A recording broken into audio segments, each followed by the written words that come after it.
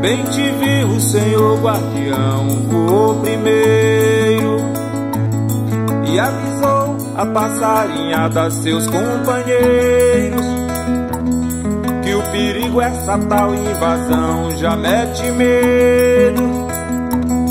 Fez até tu e o preguiçoso sair mais cedo. Pienso partir un poco desde los años de la dictadura en Brasil en donde la Iglesia ha tenido realmente un papel estratégico, estratégico por los elementos de esos años. Una Iglesia que ha descubierto su rol profético, en donde nacen las verdaderas figuras, digamos, carismáticas de la Iglesia brasileña. Recordemos a don Helder Cámara, don Scheider y con todos los teólogos de la teología de la liberación que dieron un impulso desde el punto de vista de opciones mucho más directas de la Iglesia con el pueblo que sufría y que por consiguiente todavía hoy nosotros hemos heredado de esos padres de la Iglesia brasileña esta herencia de donde se nos permite también a nosotros como combonianos tener, reflejar, profundizar un tipo de presencia aquí en Brasil. Una iglesia que ha hecho elecciones históricas, colocándose precisamente junto a los pobres y con esta característica, o sea, que el compromiso de la evangelización sea también un compromiso político para rescatar a las personas de la situación de esclavitud, de muerte y de violencia, y sobre todo para liberar también al Brasil del régimen militar. Tan es así que esas personas que he nombrado anteriormente son personas claves para entender también la democratización del Brasil que ocurrió luego en 1985. Por consiguiente, una iglesia que realmente ha hecho y ha desarrollado un papel muy importante en la coyuntura política social del Brasil y de la cual hoy en día muchas personas, muchos líderes políticos, sindicales, son el fruto de estas luchas que la Iglesia ha llevado a cabo. Siempre en este periodo quisiera destacar las comunidades eclesiales de base que nacen y que por lo tanto viven todas ellas el progreso dentro de esta opción preferencial por los pobres. En la relectura también de Medellín, de Puebla, y sobre esto las comunidades eclesiales desafían las realidades locales para ayudar a las personas a liberarse de esta situación de esclavitud en la que vivían, para volver a encontrar este gran descubrimiento de Jesucristo, liberador y redentor.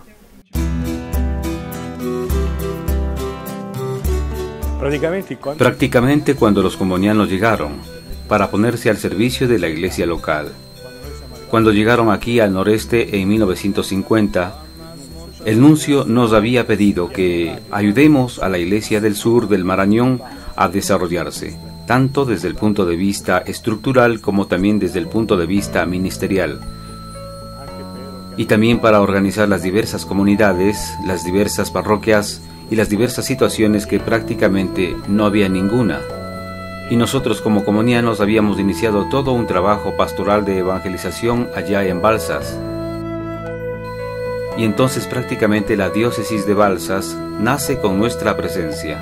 En 1970, junto con la Conferencia Episcopal Brasileña, los obispos del noreste, sobre todo Don Pelé, se propusieron aceptar el reto de asumir las periferias y asumir aquellos trabajos con las realidades más pobres que eran en ese momento los indios y las comunidades de afrodescendientes.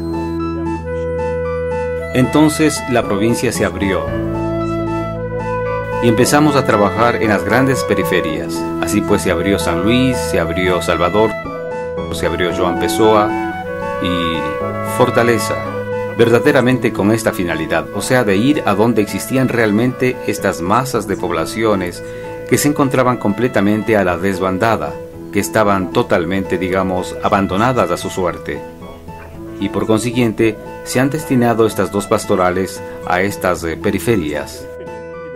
Y de allí partió un trabajo ya sea religioso o social. En efecto, en todas las realidades en donde hemos estado o donde estamos ahora, tenemos una presencia en la que no solamente nos ocupamos, digamos, de un discurso de evangelización, o sea, del anuncio de Jesucristo y por ende de la Biblia y todo.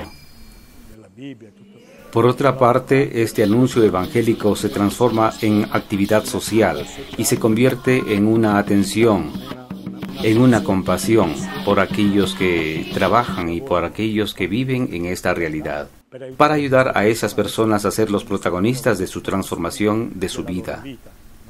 Y de allí prácticamente hemos tomado como compromiso todo el trabajo con los niños y adolescentes de la calle, trabajos con la juventud, trabajos con la pastoral obrera, la pastoral carcelaria, todas las situaciones puntuales, o sea, pastoral y social en donde hemos dado nuestra contribución en los años 90, la provincia cambia un poco la metodología misionera. Si hasta ese momento lo que nos preocupaba era un poco, eran un poco las diferentes actividades, las diversas, digamos, realidades sociales, en los años 90 sentimos una necesidad, reprogramar la provincia a partir de un eje central, y sobre todo a partir de una relectura bíblica del buen samaritano. Es decir, tomamos la metodología que encontramos en el fragmento de Lucas 10. Nosotros lo hemos readaptado a aquello que era un poco nuestra realidad del nordeste porque nos dimos cuenta de que muchas veces las respuestas ya no eran conforme a aquello que era nuestra realidad. Un samaritano que iba de camino vino cerca de él y viéndole fue movido a misericordia, y acercándose vendó sus heridas, echándoles aceite y vino, y poniéndole en su cabalgadura, lo llevó al mesón, y cuidó de él. Entonces Jesús les dijo, Ve y haz tú lo mismo.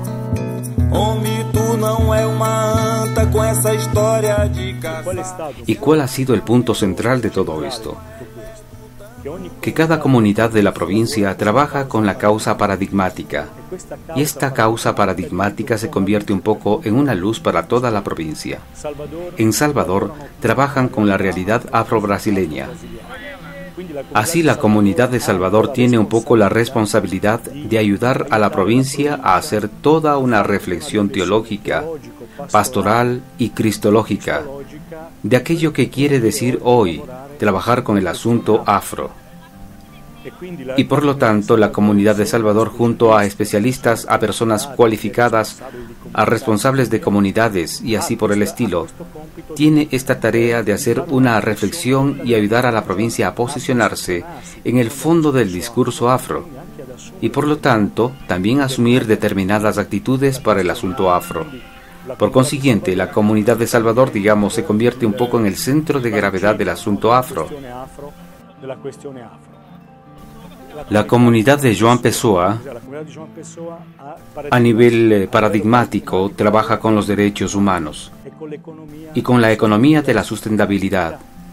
He aquí por qué hay el Centro de Defensa de los Derechos Humanos. Así ellos hacen toda una reflexión sobre el asunto de los derechos humanos, que quiere decir trabajar en el noreste con los derechos humanos, y cuáles son también las políticas públicas de actuar en el nordeste brasileño.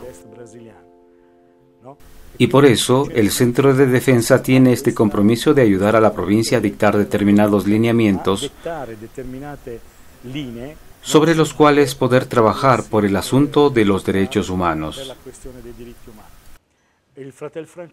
El hermano Francisco trabaja sobre el asunto de los recogedores de basura, o sea, sobre las personas que recogen basura.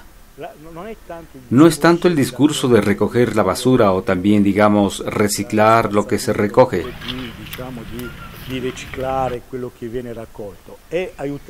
es ayudar a una comunidad local, sobre todo a una comunidad muy pobre como la de Marco Smorra, a hacer comprometer a las personas que viviendo una realidad distinta, como cooperativa o asociación o algo por el estilo, se puede encontrar y se puede lograr tener, obtener mayores resultados. En efecto, hoy en día los cooperantes son un ejemplo para toda esa realidad, para los mismos municipios. Los vecinos están tomando esas iniciativas como una iniciativa piloto para transportarla luego e implementarla también en las diversas comunidades en donde están trabajando. De esta manera, trabajar es un discurso de economía sostenible, del concepto de economía sostenible. Luego tenemos el CAFI, que es el Centro de Acogida de Apoyo a las Familias, porque uno de los datos muy significativos aquí en Brasil es la realidad familiar. Es decir, la familia ha perdido muchísimo en Brasil, sea desde el punto de vista social como también desde el punto de vista antropológico y por consiguiente hoy la familia brasileña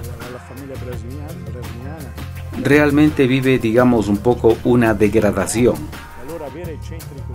Entonces tener centros así en donde se puede estudiar políticas familiares, donde se pueden digamos elaborar políticas públicas, con atención a la familia para que la familia pueda, digamos, recuperar su historia, su dimensión y también su función social.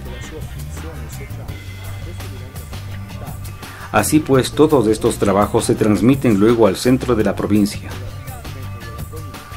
En Fortaleza tenemos todos los discursos de la pastoral carcelaria, el discurso de la salud mental del padre Rino y del padre Marco, en donde realizan todo este trabajo de recuperación, y también el trabajo de, digamos, atención a aquellos que están en situaciones de las personas desde un punto de vista de bienestar.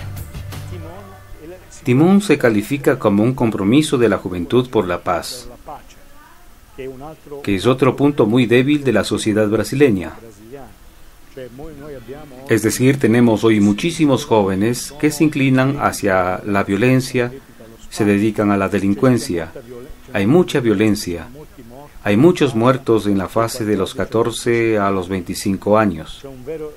Hay un verdadero exterminio aquí en Brasil de estos jóvenes. Entonces, como provincia, hemos querido tomar, digamos, esta vertiente de la juventud y hacerla una prioridad. Hacer una prioridad en donde prácticamente trabajamos sobre tres vertientes. La primera vertiente es la de las escuelas. Elaboramos programas escolares en las escuelas en donde los profesores nos llaman y allí tratamos de ayudar a los chicos a trabajar según una dinámica y bajo situaciones, digamos, límites.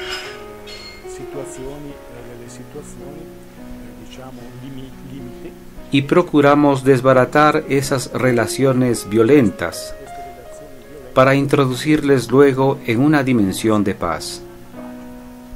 La otra vertiente es con las escuelas, es decir, con las universidades, donde prácticamente hoy somos consultados también por las diversas universidades para preparar para cursos pedagógicos para la educación para la paz.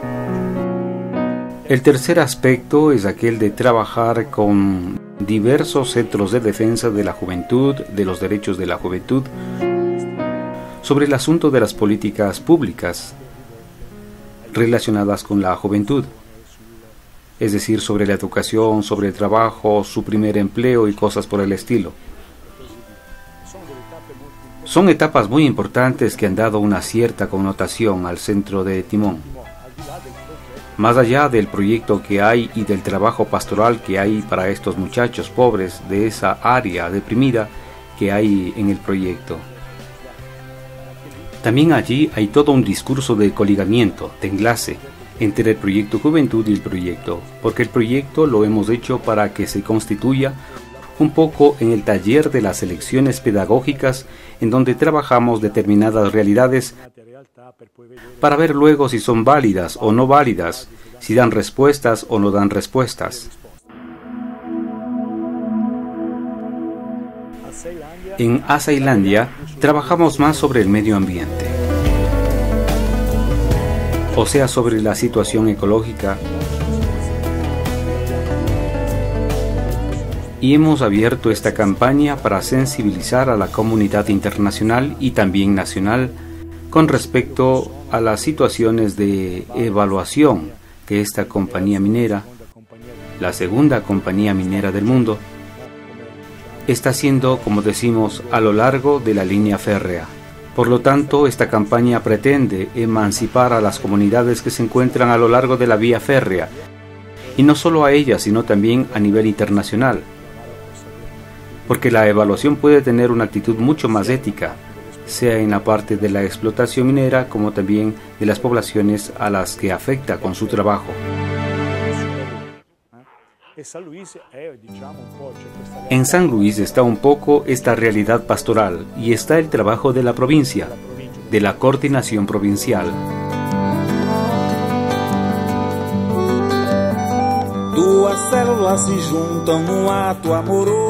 La iglesia brasileña, digamos que empezó hace pocos años a tener esta sensibilidad sobre las iglesias más allá de las fronteras.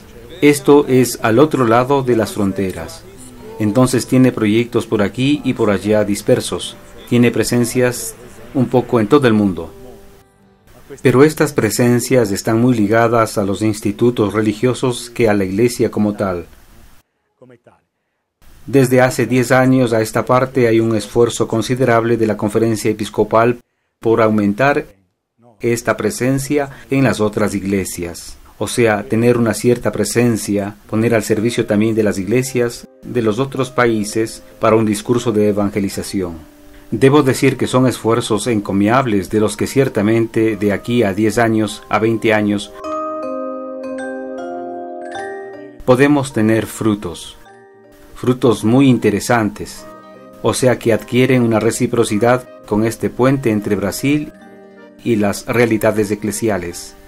En lo que se refiere a los combonianos, nuestra actividad sea de evangelización como también de animación, en toda nuestra actividad tratamos siempre de abrir la realidad en la que nosotros trabajamos, o sea, la realidad local a un discurso más amplio. Y por lo tanto está el esfuerzo de todos los cohermanos de mostrar a este específico componiano que es parte del ámbito local pero que con certeza, digamos, se vuelve universal. De modo que no es únicamente una atención al local, pero el local tiene sentido solamente si lo vemos en una función universal. Así todo el trabajo eclesial, todo el trabajo de comunidad que se realiza se lo hace también en virtud de una presencia en el extranjero.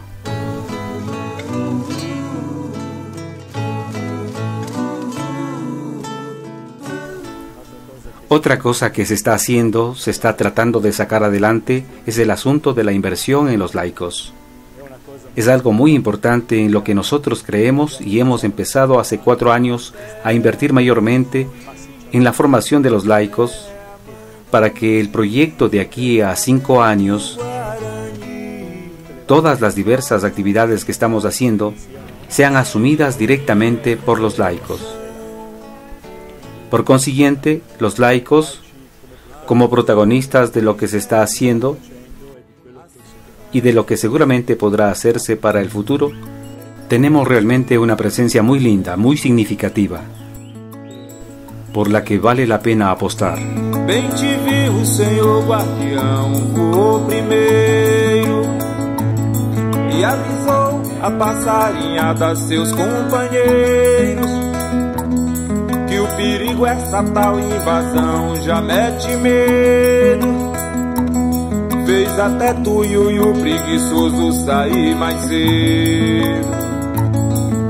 E o sabia verdadeiro cantar faceiro